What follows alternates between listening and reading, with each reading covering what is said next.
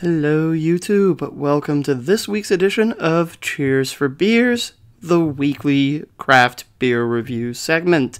And today we are going to feature something from very, very far away.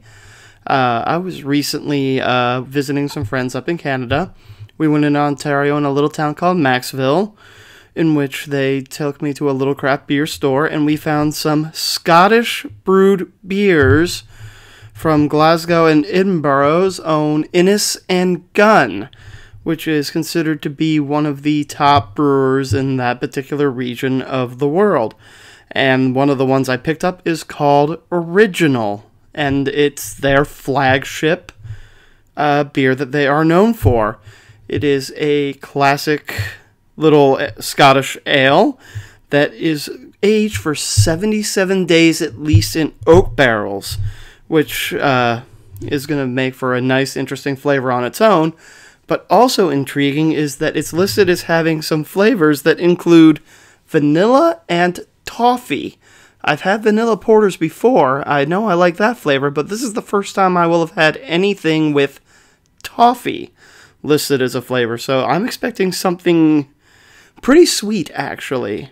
Uh, it is 6.6 alcohol by volume with an 18 IBU, and its average rating on Untappd runs at about 3.59, so mostly positive. Let's dig into this.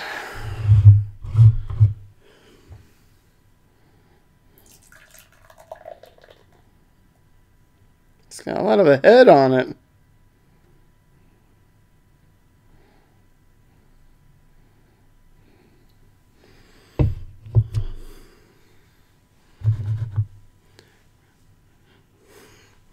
It's not as dark as I thought it would be. It's more of an amber. Looks very good though. Mmm. You can smell the toffee. I don't necessarily smell the vanilla. Not that that's a bad thing. Uh, but you can definitely get the aromas of the toffee that they use to brew this. Okay, let's uh, let's give it a try.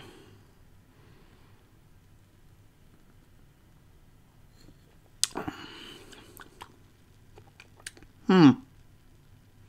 Hmm.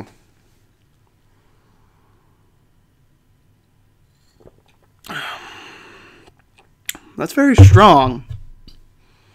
I can taste the toffee. I don't, again, I didn't smell as much vanilla, and I'm definitely not getting a ton of vanilla flavor out of that.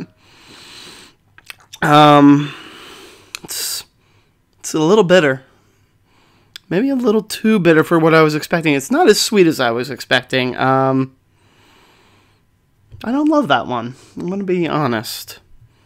I'm going to give that one. I'm going to go right down the middle on that one. Yeah, yeah, about a 2.5 out of 5 because it's it's not awful. It's it's just a little too bitter and I'm not quite getting the exact flavors that I was advertised or promised in this one. Um, I do have a couple more to try from this particular brewery in the coming weeks, so we'll uh, see what happens. Uh, but as for now, uh, I'm going to sign off. And uh, have you ever had anything from this brewery? If you have, comment below. And if, as always, if you liked what you saw here and are looking forward to more beer reviews, movie reviews, or just general sports topics of the day, click to subscribe. And until next time, cheers.